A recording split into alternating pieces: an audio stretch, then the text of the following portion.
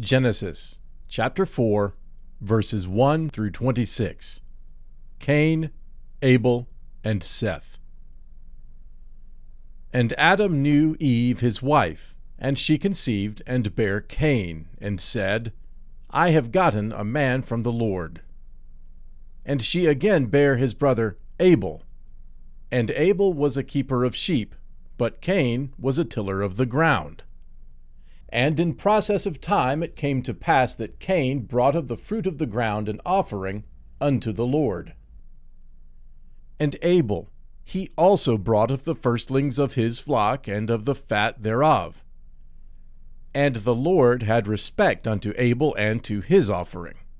But unto Cain and to his offering he had not respect. And Cain was very wroth, and his countenance fell. And the Lord said unto Cain, Why art thou wroth? And why is thy countenance fallen? If thou doest well, shalt thou not be accepted? And if thou doest not well, sin lieth at the door. And unto thee shall be his desire, and thou shalt rule over him. And Cain talked with Abel his brother. And it came to pass, when they were in the field, that Cain rose up against Abel his brother, and slew him. And the Lord said unto Cain, Where is Abel thy brother? And he said, I know not. Am I my brother's keeper? And he said, What hast thou done?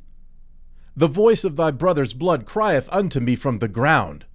And now art thou cursed from the earth, which hath opened her mouth to receive thy brother's blood from thy hand.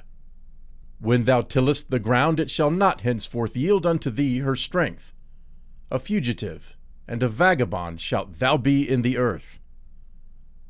And Cain said unto the Lord, My punishment is greater than I can bear. Behold, thou hast driven me out this day from the face of the earth, and from thy face shall I be hid. And I shall be a fugitive and a vagabond in the earth, and it shall come to pass that every one that findeth me shall slay me. And the Lord said unto him, Therefore, whosoever slayeth Cain, vengeance shall be taken on him sevenfold. And the Lord set a mark upon Cain, lest any, finding him, should kill him. And Cain went out from the presence of the Lord, and dwelt in the land of Nod, on the east of Eden.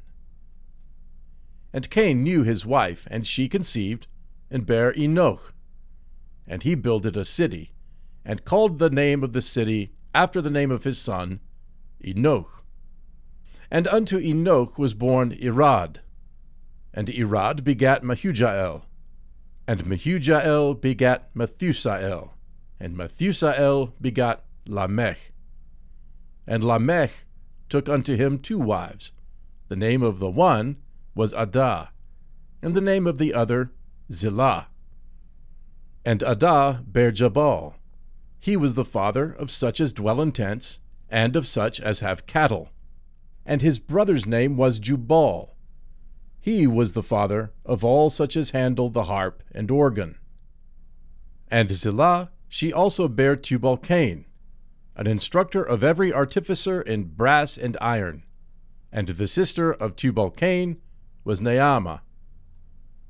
And Lamech said unto his wives, Adah and Zillah, Hear my voice, ye wives of Lamech. Hearken unto my speech, for I have slain a man to my wounding, and a young man to my hurt. If Cain shall be avenged sevenfold, truly Lamech seventy and sevenfold. And Adam knew his wife again, and she bare a son, and called his name Seth. For God, said she, hath appointed me another seed instead of Abel, whom Cain slew. And to Seth, to him also there was born a son, and he called his name Enos. Then began men to call upon the name of the Lord.